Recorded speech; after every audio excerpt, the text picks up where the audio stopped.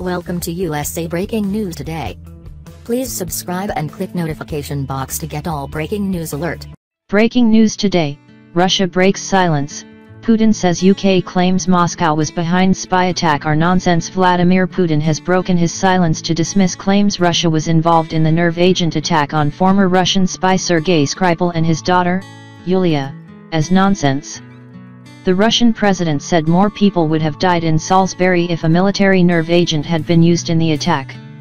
Speaking after winning a new term in the Russian presidential election, Putin dismissed the absurd claims and questioned why Russia would do anything like that before the elections and the World Cup this summer. The Russian president said Russia did not possess the military nerve agent British officials say was used in the attack, and if that toxin had been used, more people would have fallen victim.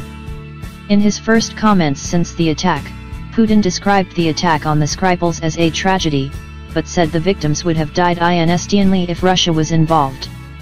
The Russian leader said his nation was ready to cooperate with British authorities. His denial comes after Moscow expelled 23 British diplomats in retaliation against Theresa May's decision to banish Russians from London. Theresa May used her Conservative Party's spring conference in London to take a swipe at Russia saying their response doesn't change the facts of the matter. The PM has said it is highly likely Russia was behind the attack, demanding answers from Moscow, and expelled Russian diplomats from British soil.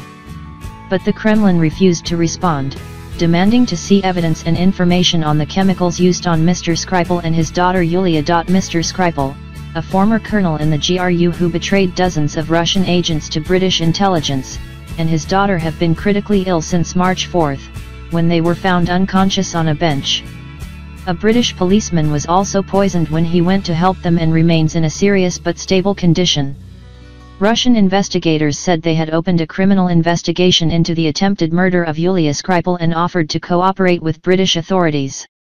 Foreign Secretary Boris Johnson this morning made a fierce attack against Russian ambassador to the EU, Vladimir Chizhov, who claimed the Kremlin had no supplies of chemical weapons. Speaking on BBC's The Andrew Marrs Show, the Russian ambassador said Russia has no stockpile of chemical weapons whatsoever and therefore could not be responsible for the production of the nerve agent identified as Novichok in the attack.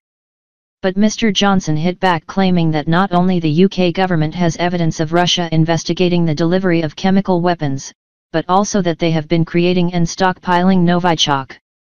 Thanks for watch please share like comment this video and subscribe channel for latest news.